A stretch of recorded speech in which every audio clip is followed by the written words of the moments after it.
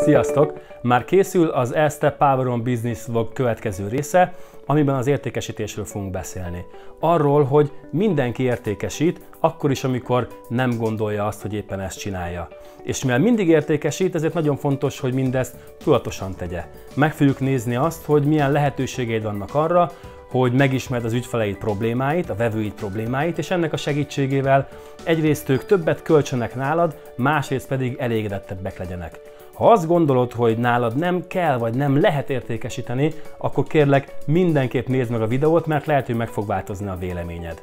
Úgyhogy hamarosan találkozunk, és újabb energiákat fogunk becsatornázni a vállalkozásodba. Én ott leszek.